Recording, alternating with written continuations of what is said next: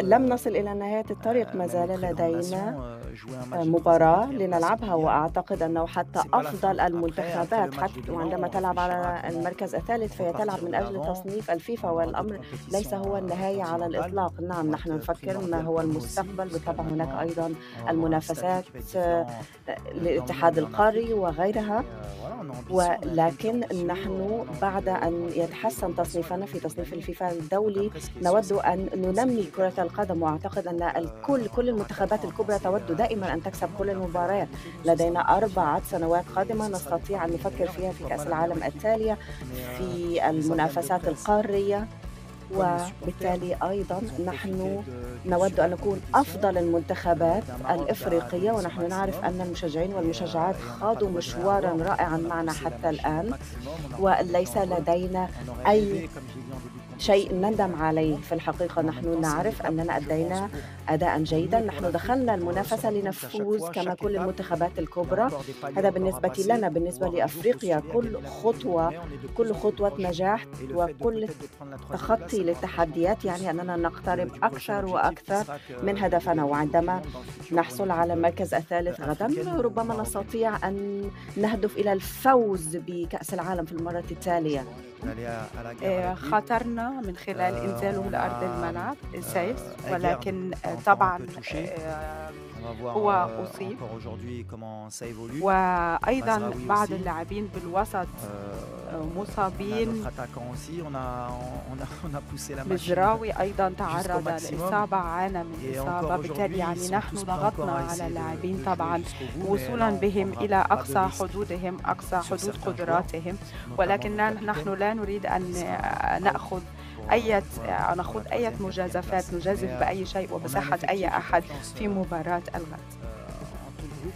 ولكن على أي حال أنا واثق من المجموعة من المنتخب وواثق من أننا سنبذل قصارى جهدا.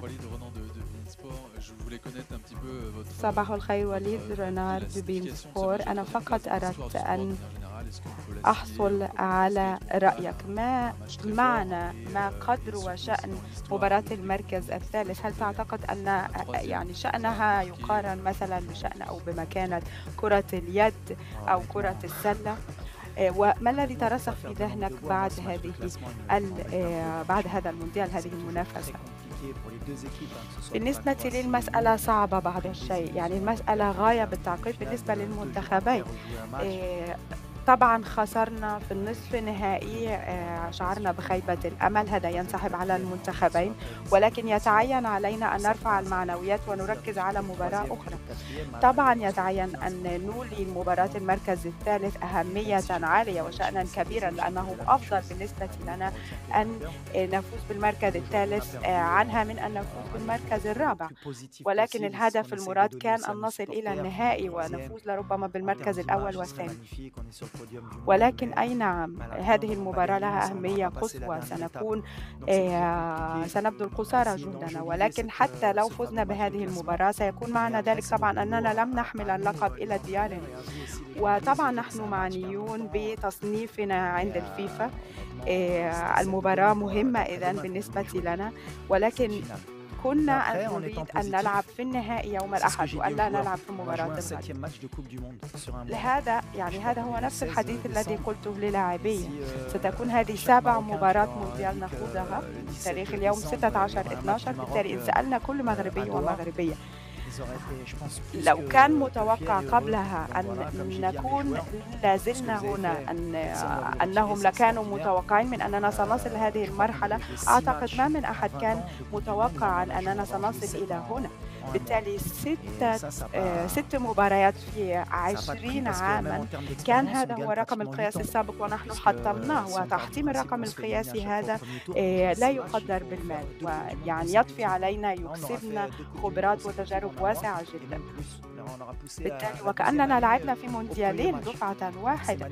دفعنا بذلنا قصارى جهدنا مارسنا الضغط لكي نكسب نغتنم ننال شرف الفرصة والتجربة وحلفنا الحظ. وطبعا نأخذ كل ما يمكننا أن نعود به كأمة كمنتخب.